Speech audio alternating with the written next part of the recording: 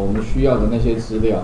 所以有的时候啦，杀鸡可以不用牛刀了。如果有时候不是那么复杂的事情的话，那个报表内容不是需要用那么那么多栏位的话啦，我是建议哈，你干脆直接用什么用康义符跟三位符啊，其实就可以帮我完成。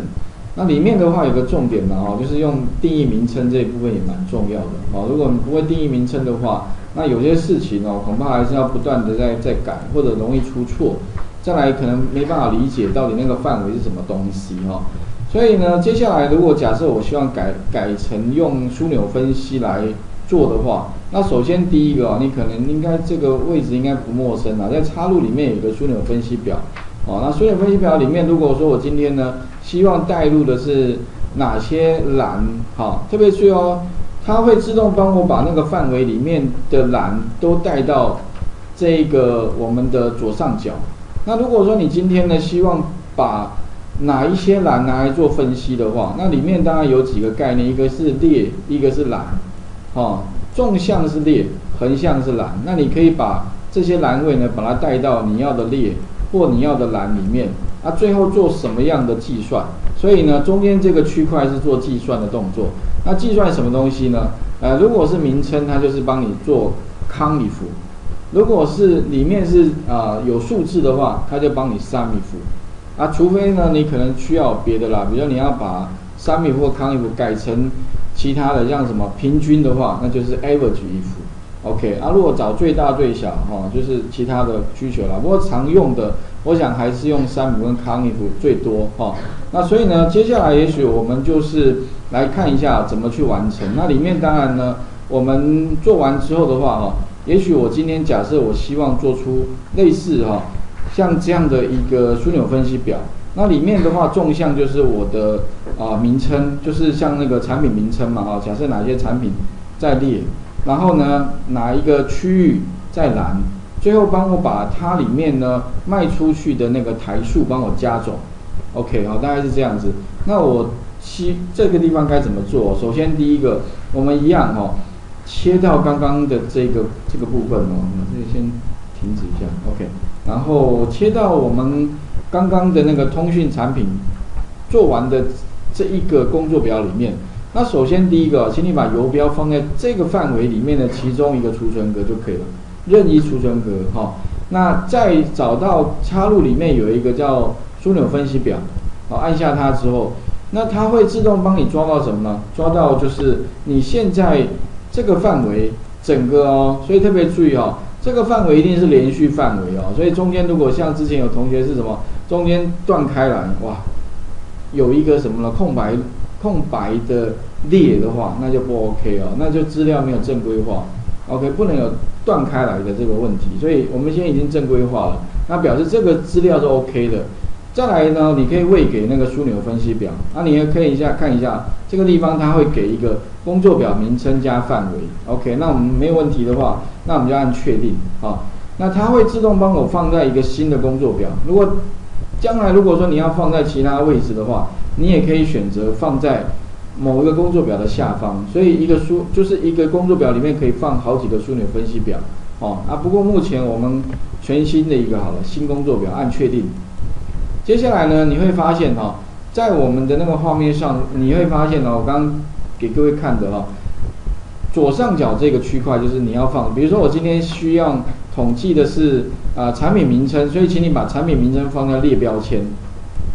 OK，你会发现哦，哎，这个时候呢，它就帮我把那个呃这个产品名称就显示出来。再来区域的话，帮我放在蓝蓝的标签。好，OK，哎，这个区。出现了，接下来的话，如果我今天希望怎么样？希望在统计它的卖出去的台数，OK，不是销售额，你把它放开。那各位可以看到呢，哈，它会自动帮我把这个里面的东西显示出来。不过显示的结果好像怪怪的，你会发现它这个目前呢，它是用计数，哎，可是我要的不是计数哦。也就是说呢，它现在哈是帮我把它改成所谓的康里夫。哎，所以如果你要改的话，记得哦，你这边可以什么？再点选它啊，点选之后的话呢，你可以把它改一下，改成什么呢？我看，哎，区域名称单位台，OK。然后呢，这边的话呢，点选那个计数的部分哦，帮我改改一下，因为它预设哈，要不就是康一幅，要不就是三米幅。那你这边的话，你可以把这个地方点选之后哈，然后它会跳出一个值的栏位设定，OK。那你会发现呢，它的预设其实应该是加总才对啦。不过它奇怪怎么跳到那个记那个项目哦，把它按加总按确定。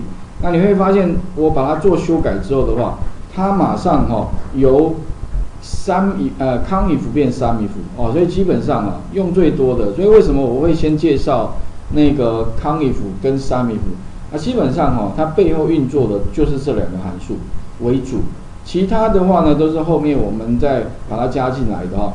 那接下来的话呢，各位可以看到，就是说，哎，刚刚最重要，你把这个名称加到列，区域加到栏，然后呢，单位台加到这个 sigma 加值的部分。那里面当然我刚好给各位看哈，你把它点选之后，它这边有个那个所谓的值的设定。那值的设定其实哈，最重要就是底下。这几几个项目的功能啊，最常用的也许加总跟项目、平均最大值还有乘积等等，底下这些功能。那除了这个之外哈，其实另外还有一个部分，就是说呢，它旁边有一个页面叫值的显示方式。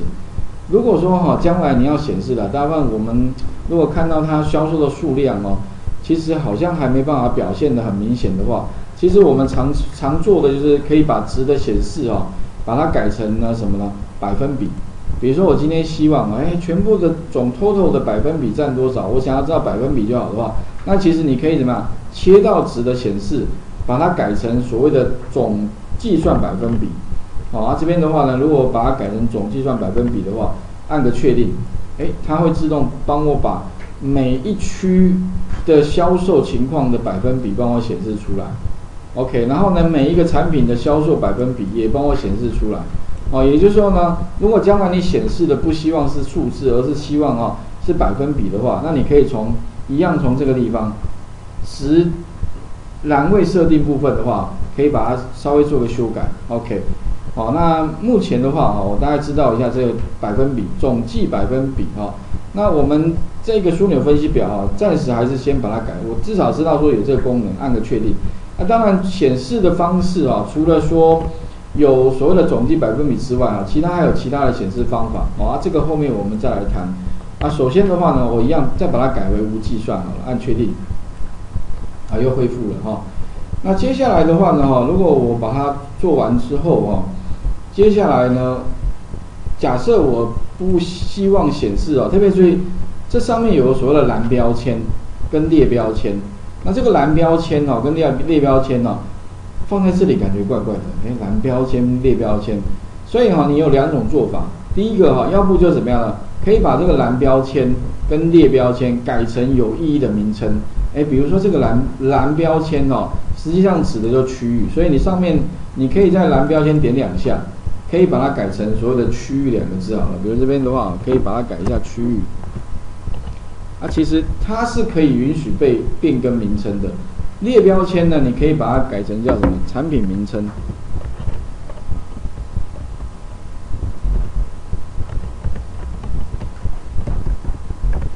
OK 哈，然后这样改完之后哈，接下来的话呢哈，还有哪一？不过哈，除了说你可以改名称之外，那可能有同学说，老师，那我干脆不要显示可不可以？哦，不显示，这样子看起来就不会哈，感觉多了一个东西在那边。如果你今天呢，你不希望它显示的话，还有一种做法。如果这个跟这个，假如第一种方法是改名称呐，第二个的话呢，如果你不希望显示的话，请你看到枢纽分析表的选项，找到那个左上角哈。如果你不显示它的话哈，你可以点选呢，有个叫栏位标题有没有？把它点点点一下，点一下之后的话呢，你会发现哎，栏位标题就不见了。OK，好，那另外哈，顺便讲一下，上面还有什么呢？加减的按钮。哎，不过你会发现哦，现在假如你加减按钮按下去哦，它好像什么事情都没发生，不会 work。哦，那你想说不会 work，那干嘛有这个东西啊？特别注意哦，这个加减是什么时候出会需要用到哈？我先把那个加减哦，还是恢复。我们请各位哦，在哪里呢？列标签下面哦，再把年度，哦，年度哦。帮我拖拉到产品名称的下方。OK，这个时候呢，各位有没有发现哦？拖拉到下方之后的话，列哈又多了一个部分，就是诶，在大哥大手机下面又有一百零一年、一百零二年这讯息，而且哈，它的旁边会多一个减号。啊，这个减号不是装饰用哦，你可以点它一下，它就怎么样？它就折起来了。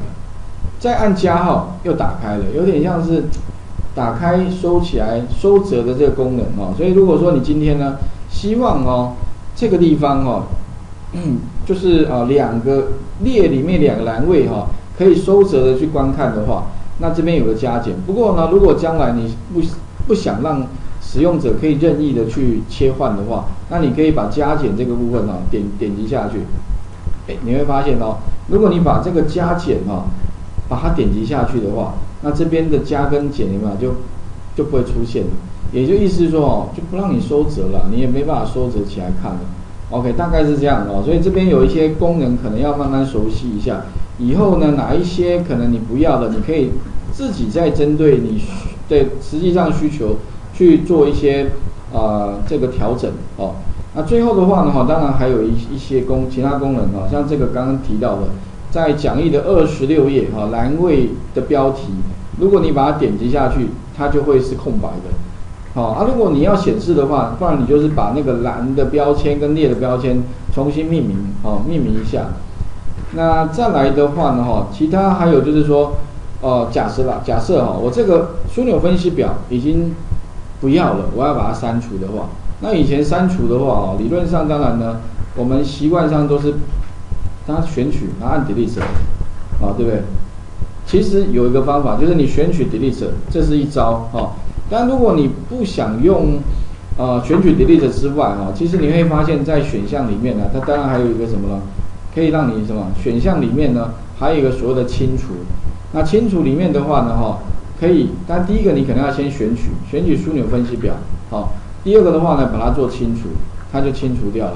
但是你会发现哦，刚刚的清除哈，跟现在的清除哦，有一个最大的不一样。你会发现哦，刚刚的清除哦，如果按 delete 的话，它是全部都不见。但如果说你刚刚用这个呃选项里面的那个清除的话，它好像还要留这个东西吧？枢纽分析表。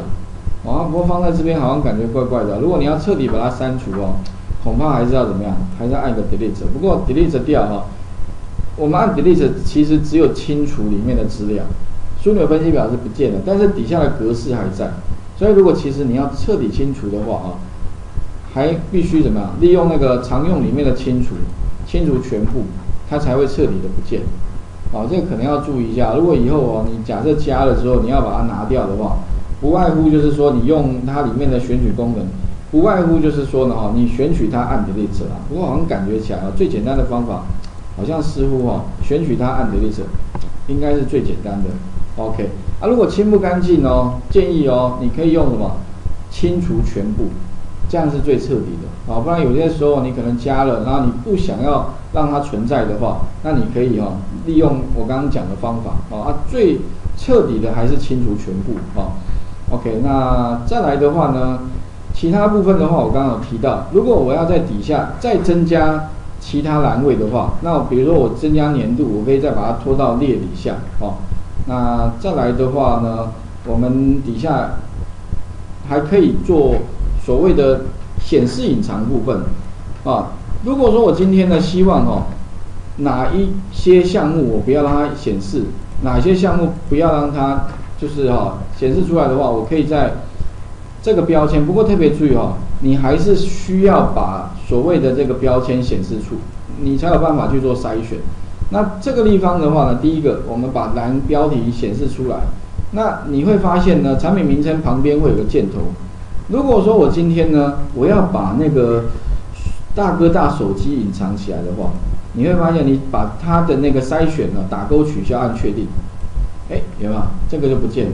那其他也是一样啊。但另外区域部分呢？如果你希望区域部分里面的像东区部分不要显示的话，一样在这边有个筛选，你可以把东区打勾取消。这个时候呢，它东区的资料就不见了。OK，你可以用筛选的功能。所以里面的话哈，有一个筛选功能，可以把你不要显示的资料哈，可以不显示出来。啊，如果恢复的话哈，再点击它一下，记得把它全选就可以了，按确定，哎，它要恢复了。那也就是说，有些要显示，有些不显示的话，可以透过哈，我们刚刚讲的就是这个所谓的筛选功能。但是筛选功能呢，记得一定要是在那个栏位标题有显示的状态下才能点得到。哦，所以这个变成说，如果你这个栏位标题没有显示的话，那就没办法做后续的筛选动作。所以这个地方可能要注意一下，可以再把那个哪些栏位要显示。哪些栏位不显示部分的话，再做一个设定。那剩下来的话，哦，其他就是说栏位的排序。比如说你今天要针对哪些做排序啦，其实在枢纽分析表里面呢，它也提供让你做再进一步的排序功能。那排序的话，你可以利用资料里面的排序，看你是要 A 到 Z，就是递增，或者是 Z 到 A 递减。好，当然你这边可以点选它，它会针对呢你要做排。就是排序的部分，但第一个你要先把范围选取，然后再做排序哦。它可以让你再做呃资料的重新排序啊。其他还有像进阶排序，也可以让你再再排序哈。所以这部分的话呢，哈，请各位利用那个排序功能哈，再把这部分稍微呃做一个练习啊。再来的话呢，最后哈，还有就是说，在我们枢纽分析表多一个叫做报表的筛选。比如说我今天哈，我把年度假设我把它移掉，特别是要年度如果要移掉的话哈，我的习惯哦，当然你可以，我的习惯是直接怎么样，把它拖拉到上面，有没有？删除某一栏的话，其实移到这个上面空白区域，放开年度就不见了。但是如果说我今天我希望是啊用所谓的筛选的方式显示年度的话，那你可以再把年度哦放到。各位可以看到这边有个叫报表筛选，那这个报表筛选意思说呢，它可以用页面的方式哦，帮你显示出你要哪一年度的这个资料出来，所以把年度放在报表筛选里面。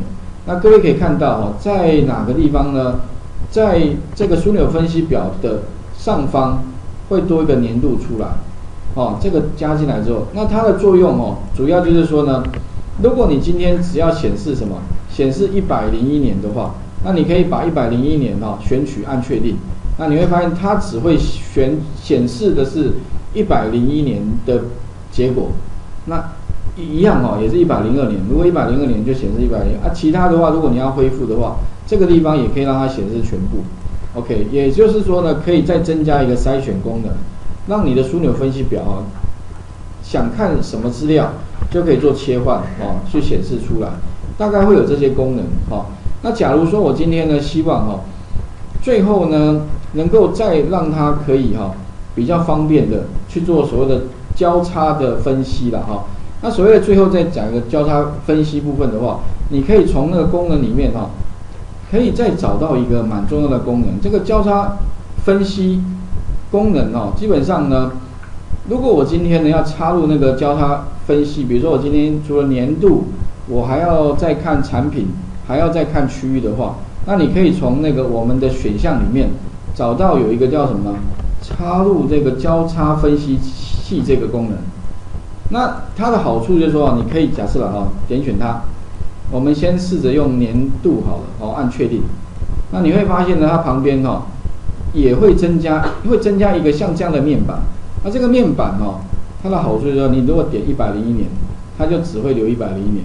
一百零二年就一百零，其实有点像是刚刚的那个报表筛选，但是好处是呢可以用点选的。那其他部如果你要恢复的话它的右上角哦会有个清除，清除筛选的话呢，你点选它，哎，它会直接把它移掉。啊，当然如果你要删除掉它的话，点选它之后按 delete 了，哦，它又消失了。啊，除了可以筛选，就是你可以啊，除了交叉分析之外哦。你还可以再去做什么？其他其他更多的，像年度，假设产品也要，区域也要啊，啊，它按确定之后的话，它会同时给你这三个面板，啊，当然理论上应该没有这么不会用这么复杂哦来来做分析啦。只是说如果你今天希望哦有多重的这个筛选的话，那你可以一次产生多个，啊，并且一百零一年里面的大哥呃大手机，然后中区的，它会留下你要的部分而已。OK 哦，大概是这样的，交叉分析。啊，如果要恢复的话呢，一样，再把它的右上角这个按钮把它点开来，哎，它又恢复正常了。OK，不过哦，这个理论上这这个是蛮方便的功能的哈，不过有时候它还蛮占空间的，放在这里哈，有时候感觉不好用哦，所以至少你知道有这个功能。啊，如果你要把它删掉的话，记得就是选取它按 Delete，好，啊，它就会把它删掉了。啊，如果移动它的话，很简单。就点击它，拖拉到你想放的位置，它就放在对的位置上。啊，使用其实非常，我是觉得还蛮简便的。啊，有时候你做报表的时候呢，一看马上每一区每一区就出现，啊，移除就是这边移除。啊，另外如果你觉得它这个颜色不够漂亮，怎么办？没关系，上方呢你还可以再变换颜色。啊，比如说你想要变个这个有点像偏这个紫色的，哎，按一下紫色的。好，所以不同的颜色上面也可以变更。好，那请各位哈稍微熟悉一下，试着把我刚刚讲的哈枢纽分析表里面的相关功能哦，试着使用看看。